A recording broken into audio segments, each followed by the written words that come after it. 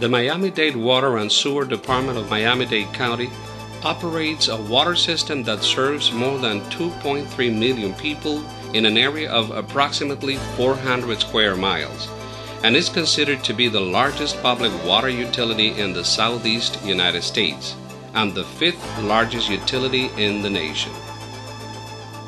Night or day, water and sewer leak detection crews are armed with various listening devices, sound recorders, even computers with state of the art leak detection software, checking for leaks throughout the county's entire distribution system.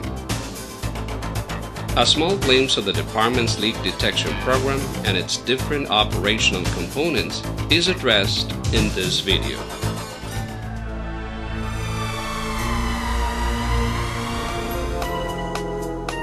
With more than 7,500 miles of pipe, ranging from 1 inch pipe to 102 inch pipe, and approximately 115,000 valves, the Miami Dade water system provides direct retail water service to 442,000 customers and maintains about 36,000 fire hydrants.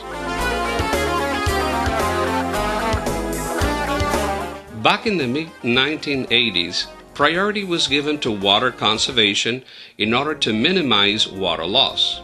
Hence, the department supported the creation of a leak detection program and developed what is considered today to be one of the most sophisticated and successful programs nationwide.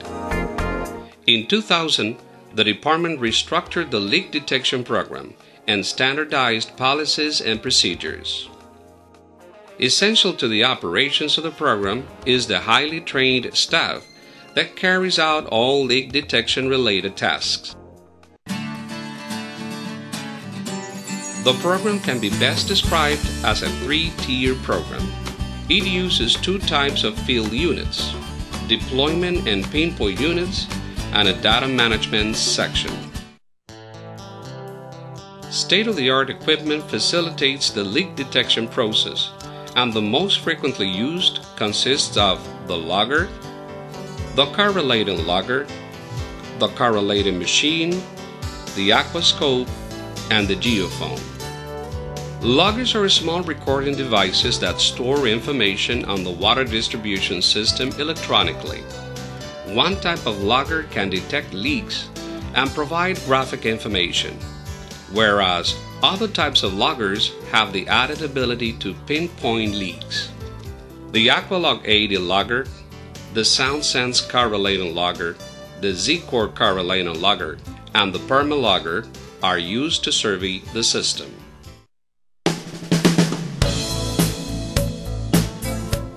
This type of equipment pinpoints leaks after they have been detected.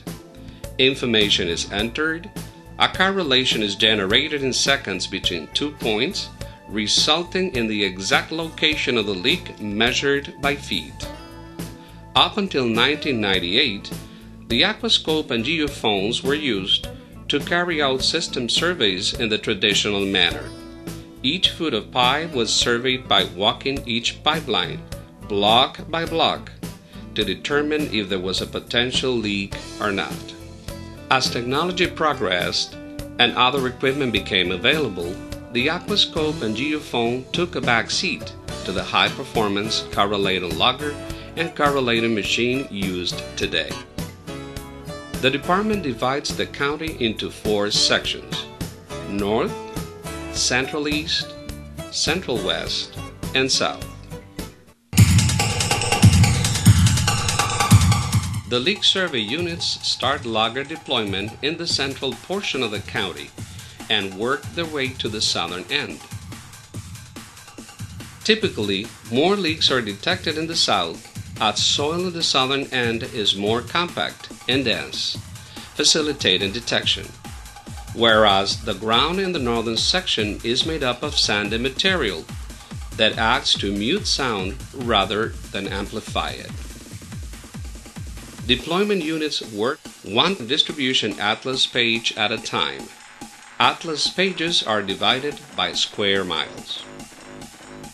After the south section of the county is completed, units work from the central section towards the north until the entire county is surveyed.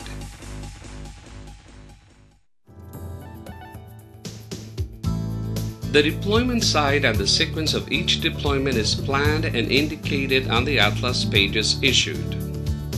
The data management section plays a pivotal role in the leak detection process. The section employs three leak detection equipment specialists who perform various tasks dedicated to the leak detection program. Loggers are programmed to start collecting data at specific intervals of time and handed to Service Technician 1 for deployment. After the loggers are retrieved and returned to the office, the data is downloaded and analyzed by the Data Management section. The leak detection equipment specialists process the information and perform an in depth analysis of the line graphs produced by the information downloaded from each logger. In certain cases, noises related to traffic or electric lines may be picked up by the logger. However, it is possible to distinguish between these and potential leaks by utilizing noise filters to isolate the leak sound. Not only does the data management section process the data retrieved by the loggers, but also runs a workshop for the repair and maintenance of equipment.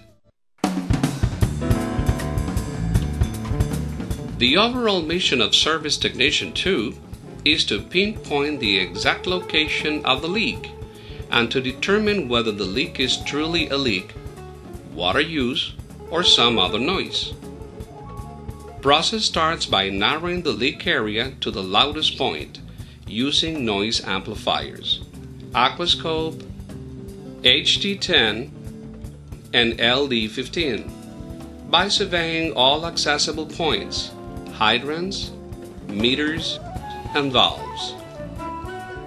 Once the area is selected, underground water utilities are located using SureLock or MetroTech and marked with blue paint, including size and type. The procedure of exactly locating the water leak begins by performing a correlation between two or more points within the potential leak area, entering the distance, type of material, and diameter into the main unit of the correlator. It compares the leak noises picked by both sensors and displays the footage where exact location of the leak is. RODCOM LC2100, LC2500, or Zcorr is used in this process. Locations for clearance are requested to confirm the exact point of the leak by driving rods.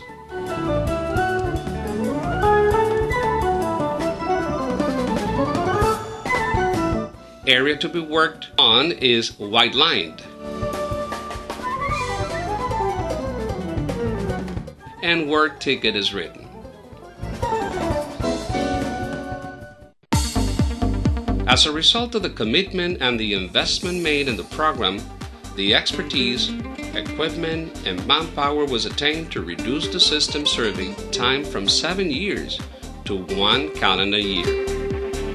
Furthermore, as technology continues to improve, the equipment utilized by leak detection units will also improve, making it easier to get the job done. Two noteworthy benefits of the program have been the reduction of water loss and the dollar's savings. Other benefits derived from the success of the program consists of improved water service to customers, more efficient use of existing water structures, and reduced legal liability by better protecting public property.